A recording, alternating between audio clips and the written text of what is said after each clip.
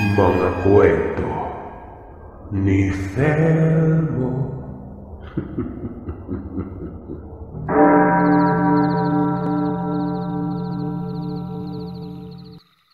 Magandang umaga sa iyo, Sir Seth. Ako ay isa sa mga masugid niyong tagapakinig. Nagtatrabaho ako ngayon sa malayong bansa. Nung una, halos ayaw kong ibahagi yung karanasan namin na ito tungkol sa mga hindi maipaliwanag na bagay. Pero kasi, ang kadalasan ko na naririnig eh sa parting Visayas lang ang maraming kababalagan. Ako ay purong Tagalog. Kaya naisipan ko na ibahagi ang kwentong kababalaghan na nangyari sa amin ng aking pamilya. Umpisan ko po ang kwento sa parating ikinikwento sa amin ng aming ama nung nabubuhay pa siya, nung panahon ng kanyang kabinataan. Taga Quezon Province kami. Isang lugar sa Quezon na nasa bandang dulo na. Panahon ng kabinataan ng ama ko noon. May sakit ang lolo niya nga pala, ang lolo ng aking ama ay may mga dalahin. Dalahin po ang tawag namin dito sa Quezon ng mga agimat o anting-anting noon. Sa panahon na may sakit na ang lolo ng aking ama, parati nitong sinasabi na, Ben, andyan na naman sila. Bale, Ben po ang palayaw ng tatay ko. Yan ang tunay niyang palayaw. Hindi ko na po itinatago dahil sa totoo naman po ang mga ikinikwento ko. Subali ayun nga. Tuwing gabi, binibisita umano ng aswang ang lolo ng aking ama. Tawagin na lamang po natin siya sa pangalang Amama. Isang araw, sinabi ni Amama sa aking ama na magsabit ng kawayan sa silong ng bahay. Mataas po ang silong nila noon. Pwedeng tumayo ang tao. So ayun nga, nagsabit ng kawayan ng aming ama noon. Kinagabihan, sinabi sa kanya ni Amama na, Ben, andyan na naman sila. Pumunta ka sa silong ng bahay. Kung anong makita mo doon, paluin mo ng buntot pagi. Pabulong na sabi ng lolo niya. Kaya naman dahan-dahang bumaba ang tatay ko. Meron siyang nakitang tila isang baga ng sigarilyo na nasa kawayan na isinabit niya noon. Kaya dahan-dahan siyang gumapang palapit sa may bagang yon. At nang makalapit na siya, hinampas niya yon ng buntot pagi. Sa unang hampas niya, napasigaw umano yung bagay na pinalo niya. Ang boses nito ay tila ba asong binugbog. Sa pangalawang paghampas niya, bigla na lamang umanong hindi niya mahatak ang buntot pagi. Dahilan, para puwersahin niya na hilahin ang pamalo niya. Para bang naghilahan umano sila noon. At sa sobrang lakas ng kung anumang nilalang na yon, nabitawan niya yung pamalo niyang ito.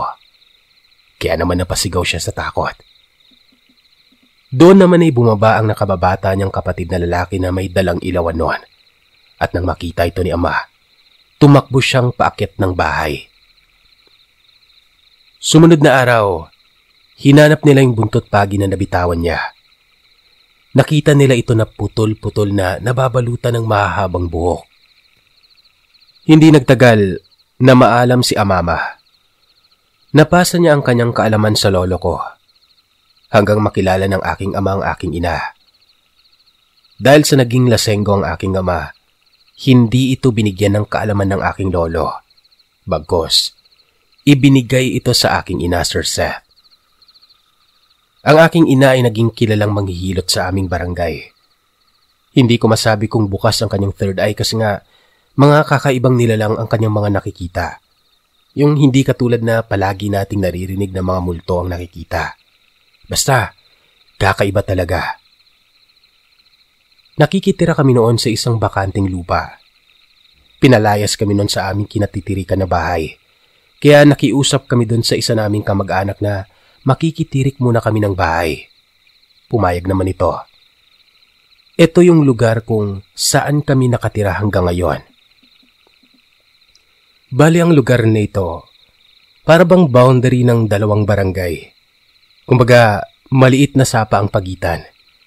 at doon kami nakatira sa kabila ng sapa. Mapuno, maraming kawayan, tapos wala pa kaming kuryente noon. Talagang nakakatakot yung lugar tapos kami lang talaga yung nakatira doon. May mga kapitbahay kami kaya lang sapa talaga yung pagitan, Sir Seth. At dito na kami nakaranas ng mga kababalagan. Sabi ko nga, parang may third eye ang aking inanon. Kung ano-anong bagay ang kanyang nakikita pero hindi kasing ordinaryo ng nakikita ng iba. Pero dahil sa may dalahin siya o pangontra ng mga Latin, hindi siya natatakot. Isang araw, nagtatrabaho ang aking ama sa may planta ng coconut oil. Sinabi sa kanya ng aking ama na dalhan siya ng pananghalian tapos sabay na silang uuwi. Medyo hapon na nang nakarating si nanay doon dahil may kalayuan din ito. Laking gulat ng nanay ko nang maabutan niya na nagiinom lamang pala si tatay. Tapos ang pinangiinom pa, yung sahod niya. Kaya naman sa sobrang galit ni mama noon, bumalik siya tapos umuwi. Dahil sa layo ng nilalakad niya, inabot siya ng takip silim. Yung tipong nag-aagaw liwanag at dilim.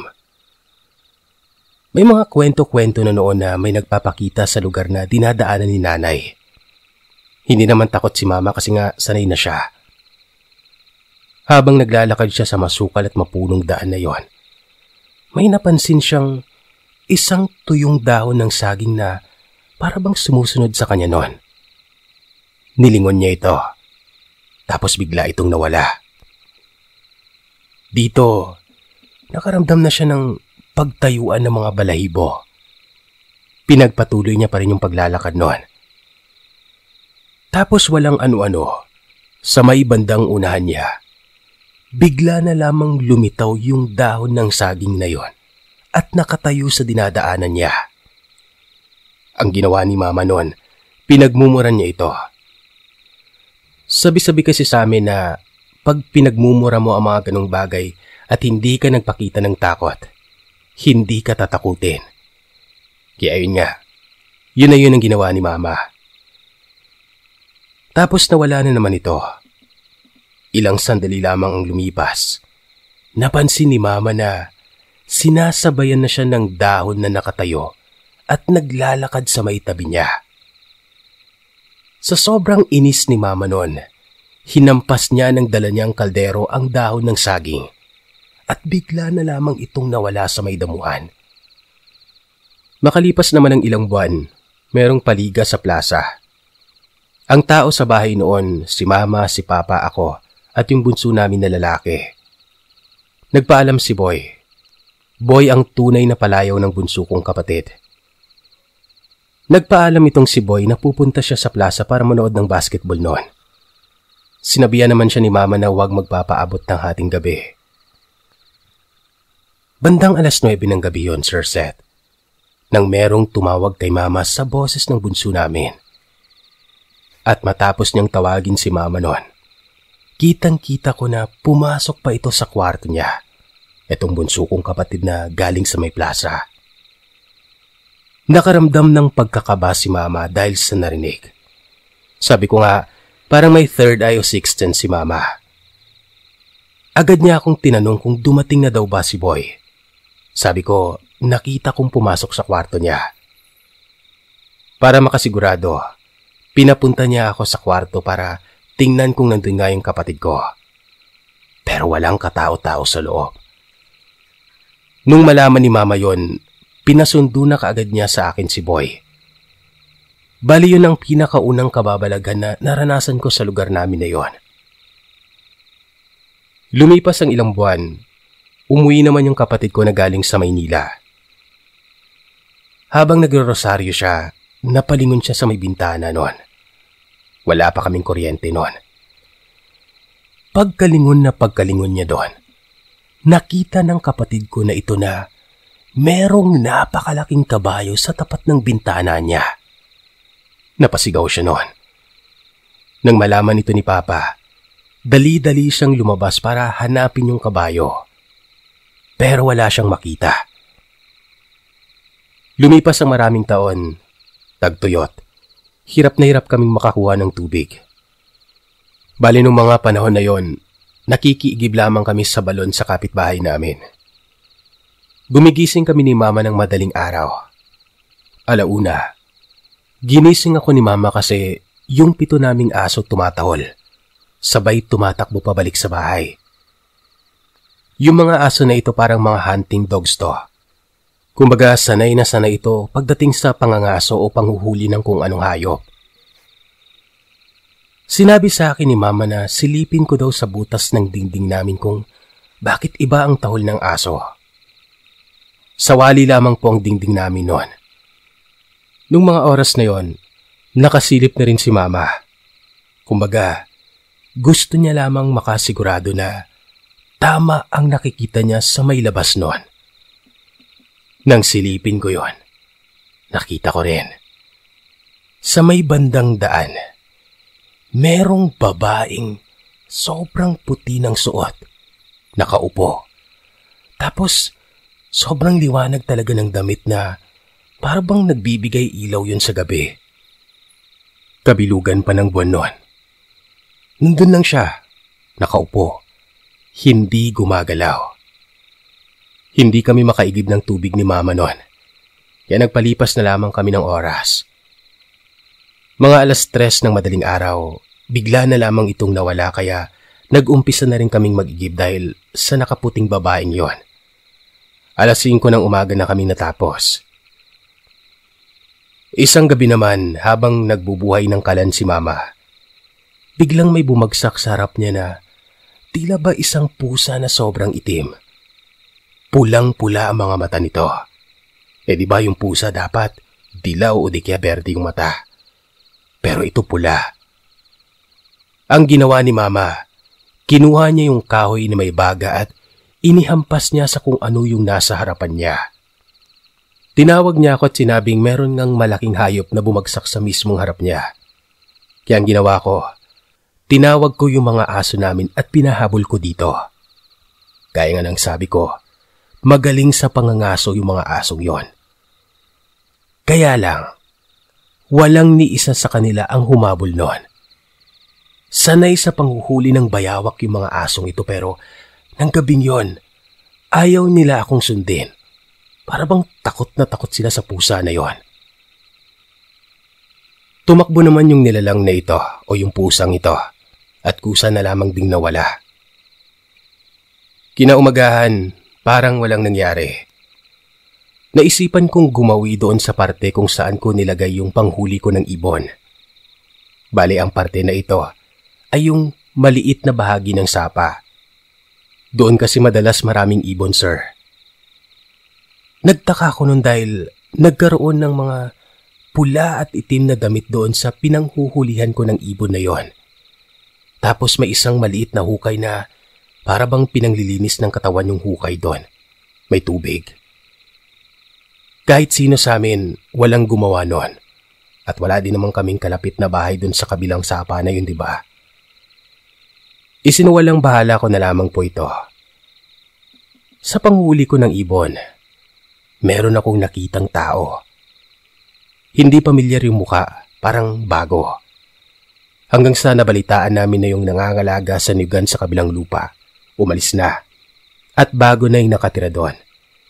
Kinahapunan noon, mga alas 6 ng gabi, merong nagpunta na mag-ina sa bahay namin. Hindi pamilyar yung mga mukha nila. Nagpahilot yung bata kay mama. Habang hinihilot ni mama yung bata, may napapansin si mama sa ina ng bata dahil habang nagkikwentuhan sila, hindi makatingin yung babae sa kanya ng diretsyo. Tapos hinahaplos-haplos niya yung mukha niya ng dalawang palad niya. Tito, nagduda na si mama. Matapos nun, umuwi yung mag-inang ito. Pero pagsapit ng medyo madilim-dilim na at palalim na yung gabi, mga bandang alas 9, dahil nga sa gubat yung pwesto namin, meron kaming narinig na tunog na parang pinapagpag na kumot, tapos parang pinupunit. Walang pagdadalawang isip na sinabi ni Papa. Base na rin sa kanyang karnasan na aswang yon. Tapos ang tanong pa niya, sino kaya ang puntirya noon? Dito ko na naikwento sa kanila na meron nga akong nakitang tela sa pinaghuhulihan ko ng ibon. Tapos merong maliit na hukay na parang ginagamit sa paglilinis. Medyo dun na na pagtagpi-tagpi nila mama at papa yung bagong pamilya sa kabilang lupa. Ay posibleng, alam niyo na, may lahing aswang. Kinabukasan, bumalik ulit yung nagpahilot dahil medyo umaayos na daw yung bata. Pero ganun na naman siya. Hindi na naman makatitig kay mama. Ang ginawa ni mama, tiningnan niya talaga ito sa mukha. Tapos napakurap lamang si mama nun. Pagtingin niya ulit sa mata ng babae, pulang-pula at nagbabaga ito. Pinahapyawan ito ni mama. Sabi niya, merong lumilipad sa may bubong namin nung nakaraan. Babarilin sana namin. Pero sinabi lamang yun ni Mama bilang panakot. Kung sakali mang totoo ang hinala namin. Tapos ayon, bigla ba namang nagsalita yung babae na ito na sabi niya, baka nakikiraan lang daw at wala naman daw intensyon sa amin yon. ba? Diba? Parang kinampihan pa eh. Kilala. Sumunod na gabi, nalasing si Papa. Nakatulog siya sa may papag. Meron namang banig tapos kinulambuan na lamang ni mama para hindi siya lamukin. Mga bandang alauna ng madaling araw, nagising si mama na may nakita siyang tao na nakaupo sa papag. Inakala niya na si papa yon na bumangon lang. Kaya ang ginawa ni mama ay natulog na lamang siya ulit. Kinaumagahan, nagising si mamang nakataas na yung kulambu ni papa. Tapos yung banig Napakaraming dugo na hugis paa. Ginising agad ni mama si papa noon. Tinanong niya kung meron ba itong sugat pero sabi naman ni papa wala daw. Pero kitang kita talaga namin yung bakas ng paa na may dugong tumagos pa sa may papag. Nagbibiruan pa nga kami noon na hindi si Papa kinain ng aswang dahil amoy alak ito. Marami pang kababalagan ang nangyari sa lugar namin noon. Isang araw, mga alas 6 ng gabi, natutulog yung pamangkin ko sa bahay namin. Iniwan siya ng kapatid ko dahil nagtayo ng bahay yung kapatid ko na pangalawa sa panganay sa katabi lamang namin noon. Nanonood sila ng TV noon sa kapatid ko na pangalawa. Bali may kuryente na kami noon. Naalala ng kapatid ko na ito na tulog pala yung anak niya kaya binalikan niya sa bahay namin para tingnan. Pagpasok niya, may naamoy siyang para bang amoy anghit. Kaya agad niyang tinawag si mama noon. Pagpasok ni mama sa bahay namin, pinangilabutan na agad siya sabay sabing, kuhanin mo yung bata at gisingin mo. Walang pagdadalawang isip na sinabi ni mama na merong tikbalang sa loob ng bahay. Agad niyang tinawag yung kapatid ko na pangalawa. Pagpasok niya, nagtayuan ng mga balahibo niya noon. Sakto naman ding galing ako sa eskwelahan at parating pa lamang noon. Hinayaan nila akong pumasok kung ano ang magiging reaksyon ko kahit na wala akong kaalam-alam sa nangyari. Sa pinto pa lang, nagsitayuan na rin yung mga balahibo ko noon. Dito, siguradong sigurado na si mama base sa reaksyon namin na meron ngang tikbalang na nakapasok sa loob ng bahay. Agad kong kinuha yung kawayan na may tadyang ng payong na pinatulis. Pangtusok ko po yun sa tuko. Tapos itak naman sa kapatid ko. Palipat-lipat lamang yung amoy. Pag nasa kwarto ko yung amoy tapos pupunta namin, mawawala ito tapos lilipat naman sa kabilang kwarto. Pero wala kaming makita. Puro amoy lang hanggang sa dumating si Papa. Sinabihan namin siya na yun nga, merong nakapasok na tikbalang sa loob ng bahay. Ang ginawa ni Papa noon, pumunta siya sa may labas sa may bandang damuhan at humuni na para bang kabayo. At sa maniwala man kayo sa hindi, yung amoy, yung amoy ang hit, nawala sa loob ng bahay. Dito na rin sinabi ni Papa na wala na, umalis na ito. Dumating ang panahon na nagkasakit si Papa ng maluba. Binigyan si mama ng isang kaibigan niya ng pangontra sa aswang noon. Isinabit niya ito sa katawan ni Papa. Alam niyo na, yung mga may sakit di ba? Lapitin ng mga aswang yon. Isang hapon, may isang lalaking pumunta sa bahay. Nakita ito ni Mama. Ang lalaking ito, pinaniniwalaan sa lugar namin na isang aswang. Hinarangan agad ito ni Mama. Tinanong siya kung saan siya pupunta. Ang sinagot ng lalaking ito, kukuha lamang daw siya ng sambong noon. Sinabi naman ni Mama na walang sambong dito. Tapos nagturo na lamang si Mama na banda doon sa isang lugar na masukal, baka meron. Pero nagmamatigas yung lalaki dahil meron daw sa loob ng bahay. Handa na sana si Mama noon na gamitan ng galing o latin yung lalaki para hindi makapasok. Pero nang napansin ng lalaki na para bang bubulong na si Mama, bigla na lamang itong umalis nang hindi nagpapaalam. Pero kinagabihan, may bigla na lamang paulit-ulit na bumunggo sa dingding sa labas ng bahay namin na animo ay isang malaki at matabang hayop. Grabe, umaalog talaga yung bahay namin noon. Sinabi ni mama dito na kahit anong gawin niya, hinding-hindi siya makakapasok sa loob. Hinding-hindi niya kakayanin ang alam o galing ni mama. Nawala naman ito at simula noon wala na talagang makalapit na aswang sa aking may sakit na ama. Hanggang sa yun nga, tuluyan nang namayapa ito. Habang pinaglalamayan si Papa, gabi-gabi, may naaamoy kaming amoy anghit na katulad ng naaamoy namin dati sa loob ng bahay. Sa gabi ng burol niya, biglang umulan ng napakalakas. Yung kabaong ni Papa natutuluan ng tubig noon. Kaya ang ginawa ko, Umakyat ako sa bubong ng bahay namin. Mga alas 10 ng gabi. Dito, sumusunod na pala sa akin yung dalawa kong kapatid na lalaki. Balay doon kami dumaan sa puno ng mangga sa harap ng bahay. Tapos na kami ng paglagay ng tarapal noon nang biglang lumapit yung pangalawa namin na kapatid at ang sabi niya, Tol, nakikita mo ba yung nakaupo sa sanga ng mangga? Pagtingin ko sa sanga ng mangga, tikba lang. Isang napakalaking kabayo na nakaupo doon.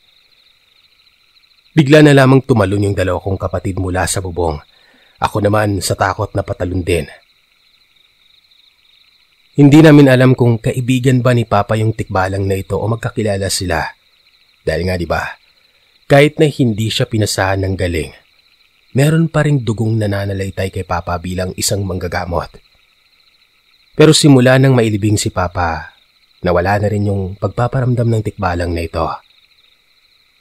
Marami pa akong naranasan na kababalagan kaya lang masyado ng mahaba. Bali sa susunod na lamang po yung iba Sir Seth at maraming maraming salamat po. Sa pamamagitan nyo eh, parang may nakausap na rin ako dito sa abroad. Nag-iisa lang kasi akong Pinoy dito. Maraming maraming salamat po uli sa inyo.